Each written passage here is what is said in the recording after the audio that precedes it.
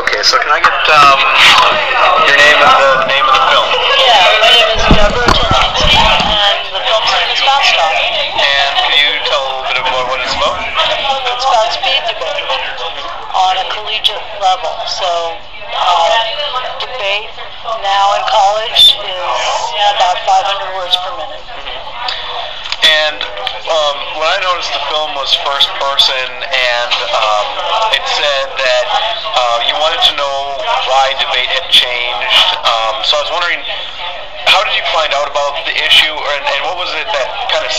off to say, I want to make a movie about that. I want to, I want to know more about that. Well, originally I thought, um, I'm a professor at Northwestern. I thought we have this amazing debate team. They've won more debates than you know any other team in the country, and I knew we had a very eccentric coach. I'd met him before. He, he was interesting for a character in a film, and part of what you're doing is casting.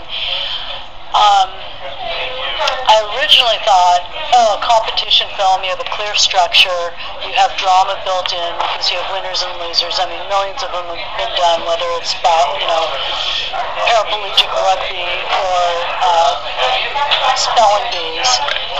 So, no-brainer, I could make it fairly quickly.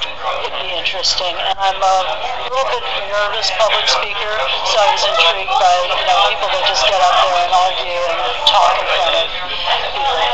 So that was my initial interest in it. Of course, um, I mean, I'm a believer that the research that you do for a film is the making of the film. So I didn't know a lot going in. That's not to say I was lazy or wasn't researching. The researching is the filmmaking. And when I got in there and started filming, I was in shock. I had no idea this went on. And I thought it, you know, like I said on the panel, I thought it was just preparation for the debate. And then when I realized, oh my God, they debate like this, I, I you know, realized we opened up this weird world. Um, and have you ever been on a debate team of any kind before? Do I seem like I have? I was just on a panel with all those debaters scary. No, I would have been good for me. um, long did the overall pro- uh, production process take, and when was it started? So fast talk, slow filmmaking. Uh, took over five years, and partly, you know, I teach full time. I didn't have a budget for this film. It was made on nothing, basically.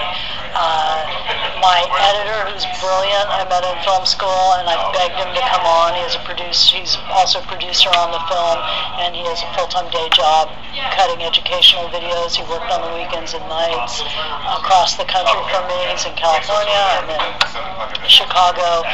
Uh, so it was just, we spent a year filming and then, you know, four plus years piecing it together, just a giant puzzle. And the movie was taking place over pretty much a single season, and you know you got footage from kind of every tournament and and that Not kind of every thing. Not every tournament, but.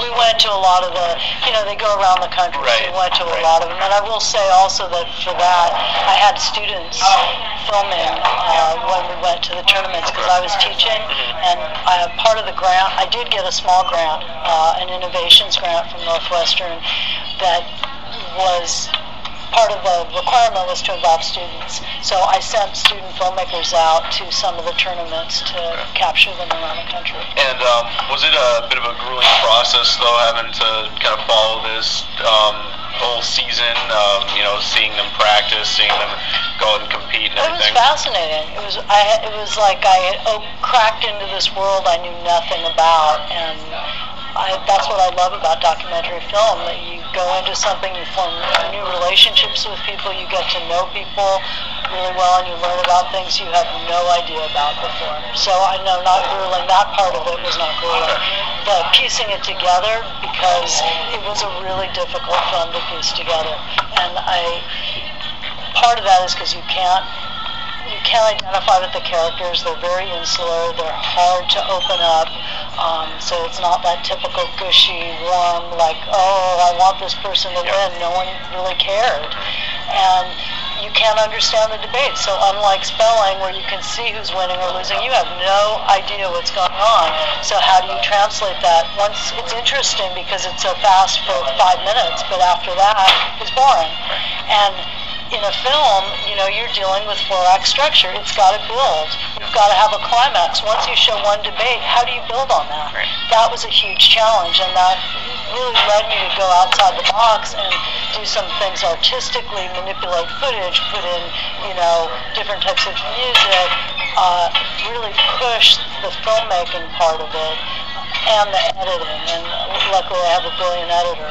Um, to get very creative in order to keep that momentum and, and build and feel. Um, have you stayed in touch with any of the uh, students from who are on the team? Yeah, I, uh, we had a screening at the Supreme Court Institute in Georgetown, and Josh was there, Tristan was there, Noah was there, uh, uh, African American Chantrice from Louisville was there. The current NDT champions were there, who are, I must say, from Northwestern. One of them is a woman. And um, I went out to dinner with Josh, Noah, and Tristan afterwards, along with some other people that were on the panel. Now, did uh, did Josh graduate after that? Um, Yeah, it was Okay. Josh's last year. Okay. Guess what he's doing? He went to law school, and uh, he's graduated law school now. He went to Harvard. Okay. Uh, so it's kind of funny because that's you know who he's competing against, and uh, he's now at a, a very prestigious law firm in D.C. It was, it was kind of interesting to watch in the film how, how Josh and Noah were on a team, and, and you know Noah kind of seemed like the rookie to, and it must have been Yeah. just uh, you know, tough on him. Yeah, I think it was really tough on him. And um, what, what do you have uh, scheduled for uh, future, any future projects um, at this point in time? Yeah, I'm working on getting this out, which is just as much work as actually making the film and a completely different type of job, and I, and I teach. But um, I have a couple other ideas that I'm percolating right now. I've been wanting to make a film on sleep, which I think springboards out of this. There's a lot of people who are not sleeping. As we all know, there's a huge industry of drugs surrounding that to help people sleep. Uh, and how much does that have to do with our culture and the pace of our culture that we can no longer turn off? And the flip side of that is that many people are manipulating their sleep so that they can sleep less, so that they can achieve more. So there's people that are doing these things like sleeping four hours and trying to stay awake multiple hours in order to get more done in a limited amount of time. Okay. Well, very good. All right.